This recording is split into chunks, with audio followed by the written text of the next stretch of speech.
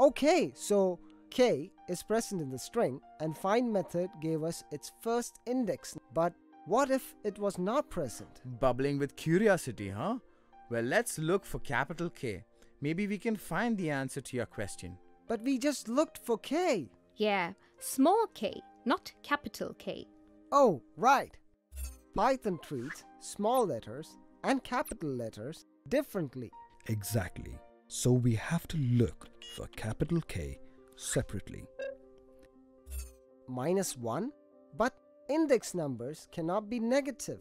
Relax. They are not. Mm, something is not right. Whew. I was an inch away from losing my mind. So, did you get your answer, Theo?